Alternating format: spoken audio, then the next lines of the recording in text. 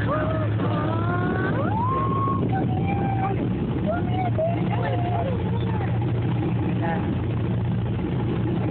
they come up right next to you, are you allowed to pet them? Oh, right there.